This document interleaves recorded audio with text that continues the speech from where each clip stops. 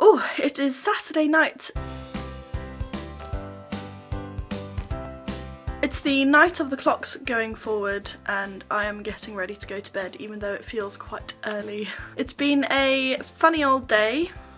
For breakfast I had a baked egg and then for lunch I had something that I talked about in one of my FlossTube videos which is a sort of traditional African food called sadza and relish. So sadza is a sort of maize mealie meal. Because it's made out of corn it's obviously gluten free. I've always hated it. Um, as a child I hated being given it. I always felt that it was really stodgy.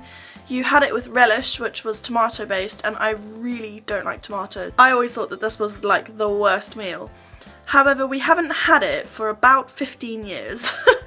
and with my newfound adultness and also the fact that I'm looking for foods that are gluten free, I thought that this would be a good chance to try out a food that I'm supposed to like and never really have. The good news is it was really tasty. So I'm going to stick a clip in here of mum explaining how it's made and then I will also link to a recipe for you. I'm making some sadza, which is crushed white maize meal and staple food of southern Africa and basically I boiled a pot of water with lots of salt and then I've mixed the crushed maize meal with some cold water and then poured it into the boiling hot water and now I'm stirring it until it uh, thickens up.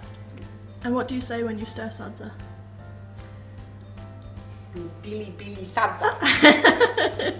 I decided to make some banana bread today. We had some bananas that were overripe and mum and I had gone to Tesco to buy supplies for Easter weekend and I'm planning to make a cake for my gran because it was her birthday the other day. So I had all of the sort of gluten-free baking equipment that I needed to make banana bread.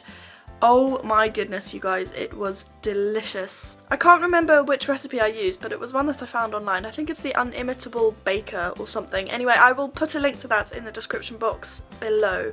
It was really, really tasty. I substituted the coconut oil. Um, I didn't have any, so I used olive oil instead, and I think the coconut oil would have made quite a big difference to the taste. But it, it worked really well, it was tasty, it went down well, and um, it fed five of us for one tea and then um, there's still half the cake left or bread so that was really really good and I enjoyed it and then for dinner tonight we had just general roast stuff. We made a gravy and we only had gluten based or flour wheat based um, gravy powder so we made our gravy from scratch and it was really tasty. I've been feeling really tired today. I think it's because I had a cider yesterday and I haven't really been drinking anything. But I'm still enjoying the journey and still intending to keep going beyond the end. I don't know if I've already stated that, but I am intending to keep going. I'm getting lots of comments from everybody saying thank you for filming and the general consensus on should I split my channel into two different groups was a no, so I'm not going to do that yet, or for now, or maybe ever, who knows. Thank you all ever so much for your comments and your likes and your subscribes. I'm always happy to receive any of those things and I will see you guys probably tomorrow. It's Easter Sunday so we've got some exciting things going on. Bye! Breathe.